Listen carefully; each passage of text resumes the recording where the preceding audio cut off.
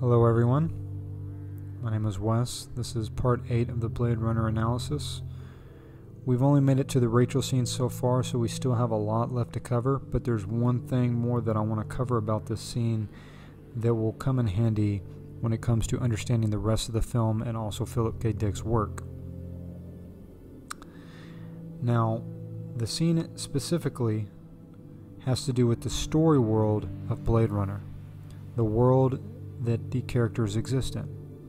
In chapter 6 of John Truby's book, The Anatomy of Story, he has this to say about creating a story world for the characters to live in. Quote, the statement that film is a visual medium is extremely misleading. While it is true that movies let us see a story on the screen and witness incredible visual effects not possible in any other medium, the visual that really affects the audience in, is in the world of the story. A complex and detailed web in which each element has story meaning and is in some way a physical expression of the character web and especially of the hero. This key principle is true not only in film, but in every story medium. Now, with this in mind, let's look at what Tyrell said again at the ending of this scene. Tyrell mentions that Rachael has been given memories in order to give her a personality, and that this with this bed of personality, she is more controllable. But what does he mean by more controllable? Is Tyrell implying that if one knows all the memories that are implanted in a replicant, then it is reasonable to assume that they will always be able to predict their behavior in the future? This is an important point that can't be overlooked, as it applies not only to the replicants, but also to the humans in Blade Runner's world. What I want to talk about today here ties back into a previous statement that I made in the second video of this analysis, which is that Blade Runner is about how the artificial environment changes the human being and makes them hollow and programmable, like androids. The humans themselves begin to reflect the artificial nature of the environment that they live in. While Tyrell does this manipulation overtly by pre programming the replicants with specific memories, my question is how is this different than big media corporations pushing their own social or political agenda? There's a quote from Philip K. Dick that this scene brings to mind that sums up the point of this article so clearly that I have to share it. Quote, Today we live in a society in which spurious realities are manufactured by the media, by governments, by big corporations, by religious groups, political groups. So I ask in my writing what is real because unceasingly we are bombarded with pseudo realities manufactured by very sophisticated people using very sophisticated electronic mechanisms. I do not distrust their motives, I distrust their power. They have a lot of it.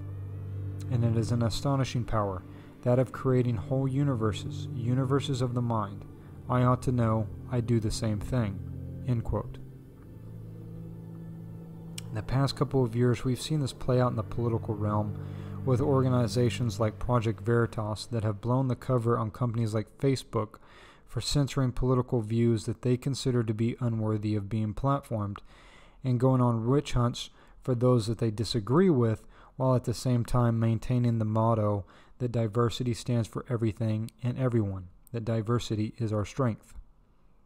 We've also seen these same social media companies have so much information on us that they can reasonably predict what links you will click on, what you will buy, and where you will be on any given day. All of this information is available and sold to advertising companies that use this same informa- information to manipulate you to buy their product. Philip did a great job of giving us an accurate depiction of what the landscape of the future would look like. The landscape of our world has transformed from a natural landscape that we lived in for millions of years to an artificial one where people are constantly having their attention and consciousness manipulated by outside influences that want to drain you of your money or life force. With corporate media, we can be given memories of things that never happened, and we will defend those memories to the death because they reinforce the stories we tell about ourselves and our identity. We then begin to live in these stories that are created by political or social groups and take on the identity they give us. Looking for purpose and meaning in, an, in a world so artificial and devoid of anything transcendent beyond the next dopamine hit supplied to you by your caretakers. If this story is threatened by a piece of information or a person who doesn't agree with our ideology, we lash out. Someone's political opinion is not just a difference of opinion, it is a complete attack on who we are as a human being. And we even have a pre programmed response of how we are supposed to respond to people who threaten our worldview.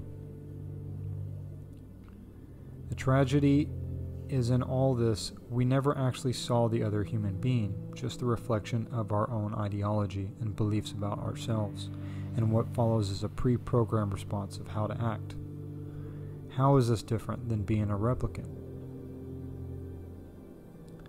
What is reality in a world where anyone can use AI generated imagery and voice to broadcast completely artificial realities? And what happens when we believe those to be true?